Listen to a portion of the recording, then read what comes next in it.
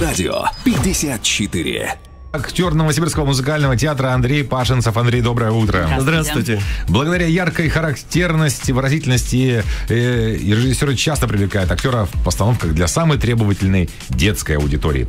А, но прежде чем мы начнем э, об этом говорить, расскажите, э, были у вас в жизни случаи, когда приходилось встречать Новый год в каких-то необычных местах? Вот у нас тема опроса сегодня, мы спрашиваем у слушателей. Ну, не, необычное место у меня было одно, но это не, не совсем Новый год был. Но дело в том, что по, своей, по своему роду деятельности мы ездили по разным театрам, попали в город Магадан. Вот, там есть такой выход скальных пород глубинных, называется Каменный венец. То есть это такое, можно сказать, археологическое место. Оно, я не помню, на каком, она, на каком высоте она находится, но самое было интересное, что я проходил как бы рядом, ну, я там рядом рыбачил, так скажем, и решил залезть на этот каменный венец э, при температуре минус 40 было. Ну, это было просто счастье, что я все-таки туда не долез по одной причине.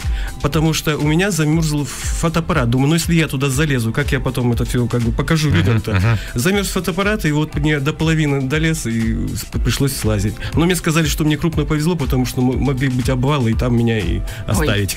Ой. И это все было вот... Э... Да, это было ближе к Новому году. Новому году, да. да. Вот как бы это было не, необычное место. Но... Сам Новый год это было бы прям вообще хорошо. Думаю, тогда бы история закончилась грустно. Грустно, нет, но дело в том, что все, все, все хорошо закончилось, и потом я купил в магазине открыточку этого каменного венца, и она до сих пор у меня стоит на полочке. Вот. Здорово. А, кстати, спасибо вам, что в такой мороз вы к нам все-таки приехали в студию. Это тоже подвиг. Да, да, да. А, часто ли приходится играть э, Деда Мороза? Ну, конечно. И самое интересное, я просто тоже насчет этого вопроса думал. И я думаю, когда же я все-таки начал работать Дедом Морозом? И вспомнил. Оказывается, опять же, не по своей воле. В принципе, раньше я как-то не задумывался над тем, что, ну, Дед Мороз, хорошо бы его там сыграть. А получилось все банально. Я служил здесь в ансамбле песни и пляски Сибво. Вот здесь, на Боготкова. Вот. И получился, вызывает меня руководитель и говорит, что, типа, все, Андрей, вот тебе увольнительное в город, пойдешь вот в воинский садик и будешь там Дед Морозом. Я сначала глаза открыл и говорю, я никак, никогда в жизни этим не занимался. Он говорит, у тебя одного театральное образование, давай шагом марш вперед, без разговоров. Вот. Ну, самое интересное, что вместо двух сказочек я отработал пять, там семь понравилось, понравилось, э, тем более дали еще денег. Вот, и я думал, какая хорошая работа у Деда Мороза. Вот с тех и понеслась. Пор... Понеслась, да.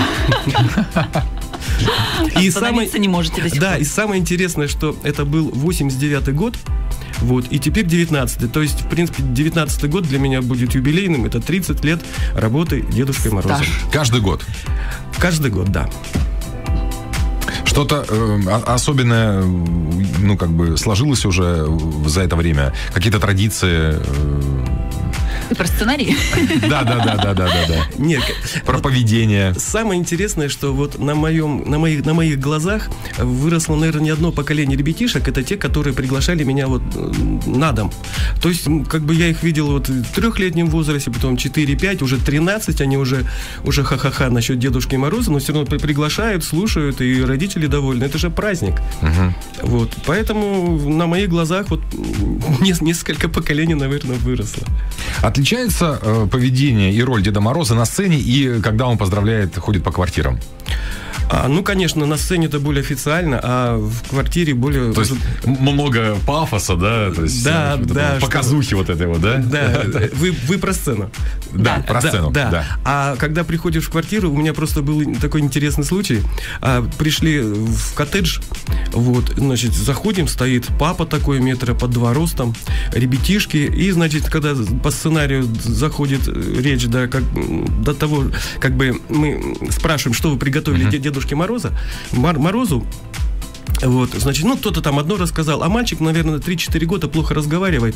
И там... Ну, мы как не, не реагируем на такие, ой, молодец, как, как тут длин, да, длинное да, стихотворение, все. Папа под, подходит ко мне, на, наклоняется и говорит, он вам загадку загадал. И ни слова непонятно было, а он такой здоровый, у меня, наверное, борода стала отваливаться. Ну, в общем-то, все... Отгадывайте. Как, выкрутились? А дело в том, ну вот у, Деда Мороза там же парик, шапка, как бы Ну, уши плохо слышно. А. А Снегурочка, она как бы поддакивала ему, она рядышком стояла просто, и она услышала одно слово, там что-то такое про полозья. Она самки, что ли?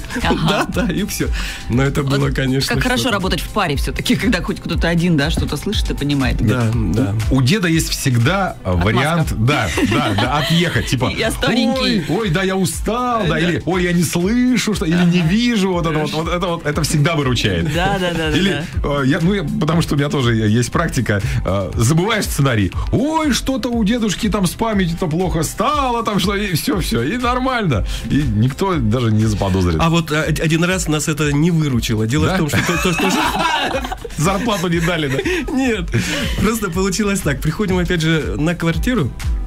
Вот, значит, сидит семья, человек пять, наверное, папа, мама. Я говорю, ну, что вы приготовили дед, Дедушке Морозу по сценарию, там, пос- после шапки такой. Значит, ну, смотрю, мальчик один открывает пианино, начинает играть. Ошибается, ему говорит папа, мама, типа, давай сначала, Дедушке Мороз. Короче, их было пять человек, и было пять музыкальных инструментов. А у нас же время-то, оно же Ну, ограничено. конечно, да. 20 минут здесь, быстренько переоделись и уже бежим. То есть у нас в течение часа два дома, как бы дво- э, две квартиры. Мы слушали этот концерт, наверное, около часа. И, и ничего не могли сделать. Ну как скажешь, ну все, хватит, что ли? А папа, мама то ли в, ра- в- в раж какой-то во- вошли.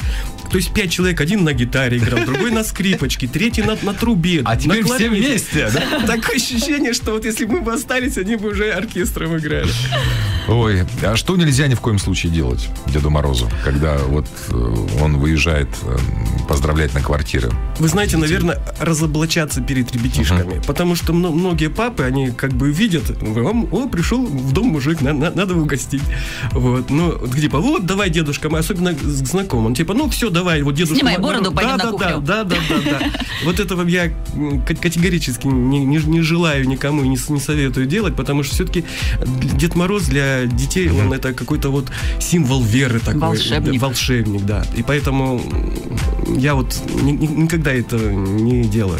Так. Причем сам начинаешь уже верить в то, что ты э, такой... есть такое? А как? Да, а как? да. Это же как, как, как на, на сцене. Ты же веришь в то, что ты делаешь. А если не веришь, то зачем?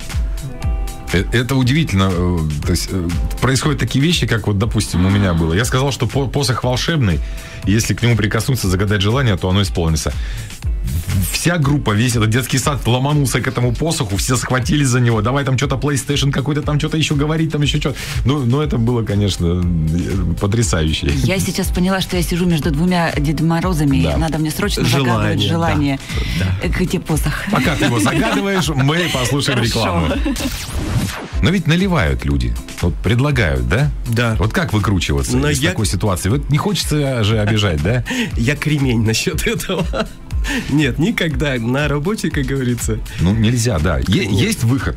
Вот. А, а Это, это мне рассказал опытный Дед Мороз. Сказал, надо возить с собой бутылочку. Свою. А там вода.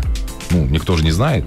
И когда что-то такое происходит, ты говоришь, а у дедушки своя волшебная. Настоечка, А там, на шишечках наливаешь. А там, да, водички, и ты раз, и никого не обидел, да, и в то же время, как говорится, Как огурец. в форме, да. Нет, ну я, я обычно говорю, знаете, Дедушка Мороз на тройке приехал, и он как бы это, не, Не хочет не может. водительских прав, Да, да? За, за рулем. да. Да, да. И как-то более-менее лояльно относятся. А, давайте поговорим о том, что а, состоится совсем скоро. Завтра. А именно завтра, да. Да, на А, два- платформе станции метро. Площадь имени Гарина Михайловского. В 11.00 можно будет увидеть Андрея в костюме Деда Мороза. Собственно, правильно? да, Да, там состоится презентация нового театрального вагона, посвященного юбилею Новосибирского музыкального театра. Гостей ждет экскурсия по вагону, выступление артистов музыкального театра. Да. И Дедушка Мороз. Он вас всех при- приглашает. Приходите, пожалуйста. В 11.00 завтра Гарина Михайловского станция. Да, площадь. Будете э, петь, будете дарить подарки. В Или наоборот, в чем стихи роль будут Дедушке Деда Морозу Мороза, да, да, да, рассказывать. да. Ну, во-первых, это как бы э, новогодний праздник, вот, и поэтому как бы Дед, Дед Мороз там будет к месту, тем более вот под праздник. Как ведущий, получается. Нет, ведущий не совсем так, как бы то, что, ну, типа, что Дед Мороз благословляет этот вагон, вот, что он зимой, что вот волшебник пришел. В канун и Нового сказал, года, Да, да, да, да. что вот этот подарок вот для э, всех, Новосибирцев. всех, всех новосибирцев, да. А есть какая-то песня у Деда Мороза? Песня. Обычно, знаете, на взрослых э, каких- каких-то мероприятиях поется то Старловского, но немножко это, там слово вставляется. Так, интересно. Сейчас. Друзья мои, я очень горд, что вы пришли на Новый год. И прошу вас всех, чтоб царил здесь смех, эта ночь дана для утех. Ну вот, вот как- как- как-то так. То есть до, до этого вот так было, а потом как запел, да? Так? Ну, нет, но Дед Мороз, он всегда дол- должен так. Поющий Дед Конечно. Мороз. Это классно. Я в садике работал как-то, и э, по сценарию мне сказали, а потом вы поете. Я говорю, в смысле? «Ну, Так, ну, поете. Ты спел? Я, я говорю, под фонограмму? Нет. Ну да, ну там ждет вас дальняя дорога, в этом нет секрета, там то то то то чтобы помочь вам. Ну, в общем, понятно, такой текст ко- кое-как выучил, но очень переживал, потому что, ну, э, там, ну, опять же, там половина сценария в стихах же. это, конечно, Да, то есть, э, и э, зачастую ты ну, волнуешься, чтобы не забыть слова. И дети это действительно очень требовательная аудитория, и она хорошо все чувствует, да? Ну, естественно, она фальши не прощает. Были какие-то вот связанные с этим, э, может быть, курьезы, нет? А курьезы тоже с ребятишками был, был такой запоминающийся, ну, как бы один из курьезов. Тоже пришли на квартиру, и получается, мальчик э, взял и под кровать сразу раз, а там же я и фокусы показывал, я и песни, это хороводы надо... А с кем? Стоит мама одна, глазами хлоп-хлоп, а мальчик под кроватью. Ну, как бы от- отрабатывать-то надо. Он стесняется, да? Да, но он вообще не вылез. Ага. И вот мы, мальчик, слышь, там, не помню, Коля, что ли, его звали. Посмотри вот здесь вот, а вот здесь вот мама, а вот тут вот мы хороводик. Вот. Ты не, не выйдешь, нет? Ну вот, вот так вот он минут 15 там просидел. То есть он так и не вышел? Не вышел. А подарки когда? А на подарки я ему. Бросил просто туда и все. Ой, что еще э, в Новосибирском музыкальном театре готовится новогоднего? Поделитесь секретами. Новогоднего готовится. Ну, Или нас, уже, или уже происходит? ну, у нас вот последняя премьера была, это «Ночь в Венеции». Это такое грандиозное шоу, спектакль, Штраус, то есть ну, приходите смотреть. Вот. Ну а под самый Новый год у нас вот елочки идут. Так что тоже Сказка, приходите. да? Пере- перед каждой сказочкой у нас А. как бы два, два в А. одном. Перед каждой сказочкой за полчаса приходите, вот, и, и про- про- проходит елка. Вот где я тоже появляюсь в конце, всех поздравляю, всех спасаю. Вот. Ну, в общем, вот при- приходите. То есть помимо самого спектакля еще Да, и вот да. новогоднее представление Да, да. с подарками. Ну, подарка Меркантильный ребенок. Я, я, я раньше, когда, помните, давали вот эти вот э, родителям э, ну, пригласительные абонементы, как они назывались, на, на утренники вот эти вот, да, у каждого там завода были, да, там, и, и ты на один идешь, на другой идешь. Ну, собственно, иногда я приходил просто, ну, уже в конце, чтобы получить подарок. Мне вот эти вот все там наряды и так далее мне не нужны были. Вот. Но вы в детстве наряжались? В Деда Мороза в детстве. Нет, нет, в ка- в костюмы какие-то. Ходили на утренники? Вы знаете, у меня, мне с этим повезло. У меня мама работала завхозом в детском саду. А раньше же при советской власти как бы то ли денежки специально отпускались, то ли это как бы было в порядке вещей, давались, ново- делались новогодние костюмы. То есть это не кто-то на руках делал, то есть, а прям какой-то за- заводской вариант. И поэтому я всегда был то ежиком, то собачкой. У меня был самый То есть красивый такие прям костюм. фирменные костюмы. Фирменные вообще, да, всякие прям с клепочками, прям с шерстью, с глазками. Там. Так вот откуда эти костюмы. Я думал, что там за мастерица. Я э, вспоминал, у нас была программа, посвящена как раз опрос э, вот новогодним этим нарядам.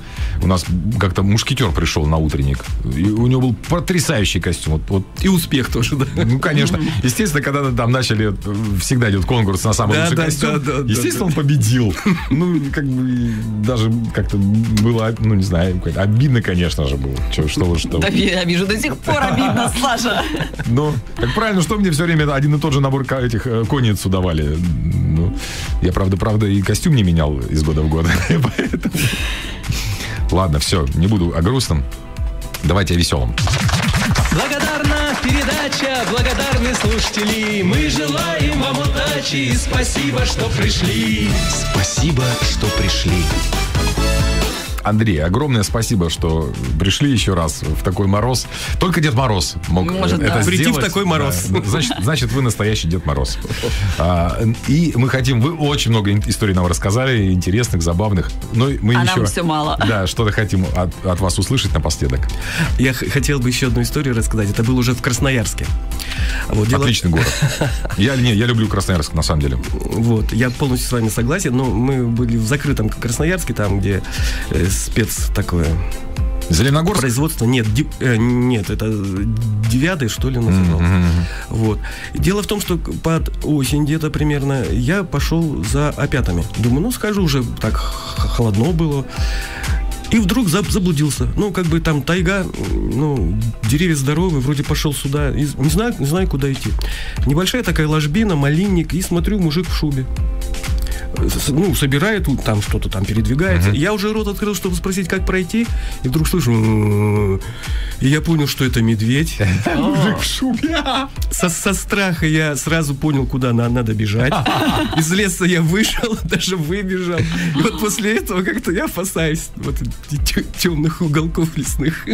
То есть Такой навигатор сразу сработал, да? вот со страху, да, вот со А страху. куда бе- в противоположную сторону бежать, нет? Я не знаю, просто я, уже не про ветер не думал, чтобы там на меня не, не думал. Но он ну, такой, ну, не- небольшой, прям огромный был, ну, прям такой, это, серьезный Мишка. И сразу раз-раз, смотрю, в уж а- ориентир куда-то раз и вышел прям в город. Вот это было очень памятно. Слушайте, ну, слава богу, что все, да. Да. Радио 54. Твой дом, твоя область. Новосибирск. 106 и 2 FM.